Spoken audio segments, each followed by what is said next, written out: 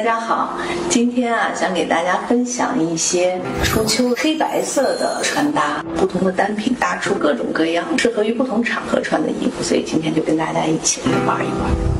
今天我选一双球鞋来搭所有的衣服哈，你就会发现所有的衣服不同的感觉和风格都跟这球鞋特别配，这也是它比较神奇的一个地方。第一套我已经给大家穿在身上，了看就是一件很简单的 T 恤，一条很松松很舒服的裤子。这身衣服很休闲，也确实很舒服，但是又让我觉得还是挺有造型感的。它上衣这个部分有一块黑吧，跟它这个黑裤子有一个呼应。这包每次。外出啊，不管是什么场合，我都不由自主的会背这个包，既休闲又有造型，配什么衣服都行。其实这身衣服特别适合戴一个鸭舌帽。哎呀，如果大家买了这样的帽子啊，千万不能轻易的洗。我就是稍微有点脏，我就给它洗了一下，让它就有点变形，但是还是很好看。套衣服呢，给大家介绍一身相对这身来说稍微正式那么一点点。比如说朋友过生日啊，大家都穿的很正式，你穿个 T 恤去好像有点不认真。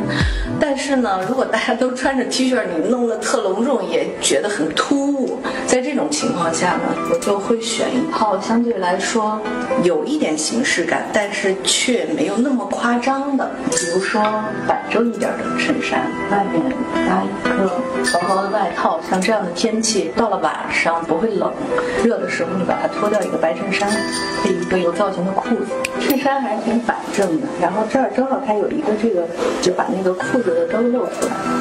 你看这个裤子非常有造型感，有点像一个锥子裙似的，但是又是一个裤子，很帅气。然后可以配顶帽，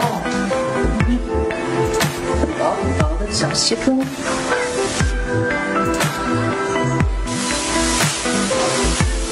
一双球鞋也可以，或者是配一双小皮鞋。下面给大家看看这条裙子，它的质地非常的舒服柔软。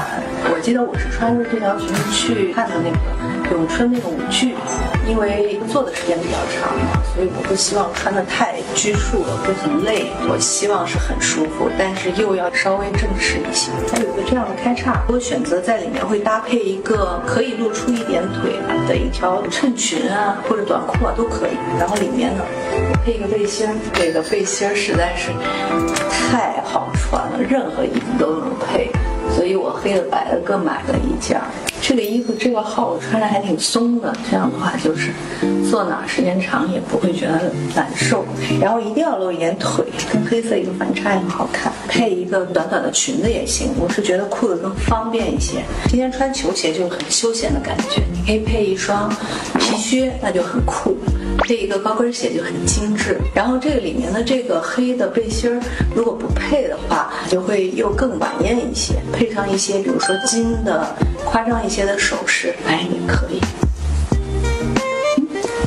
像其实我喜欢，比如说正式一些的衣服呢，我配一个休闲一点的鞋或者包，把它破一下。这个打结的设计很巧妙，这儿有一个结，有一些褶皱，其实是可以挡一点小肚子。这鼓出来的啊，是这个衣服，不是我的肚子。这件小西装，你看它的这个前片的设计，像一个小风琴似的那种，可以把它系上，也可以把它散开，很随意、很飘逸的那种。其实这几条裙子它都可以配。今天给大家试试这个吧，跟它的那个质感比较像的一条裙子。这一套就是剪裁看似随意，但是非常讲究，也可以扣上，也可以解开。然后裙子也是，就像一个金鱼的尾巴一样，层层叠叠。你看，搭一个大一点的包，非常随意，但是又特别的有造型感。而且这个衣服你根本就不用熨它，就是皱皱的，哎，也挺好。换了一个小上衣，我特别喜欢它的这个袖子的廓形，它的这个腰的设计就会显得腰身就出来了，非常简洁，还显瘦，跟那种风格比起来就会干练一些，通勤上班都可以。大家介绍了那么多啊，不同场合都可以搭配的这种不同的风格，当然大家也不一定非要就买这个品牌。可以，你喜欢什么品牌啊？买回来按照这样的思路去搭配穿搭一下。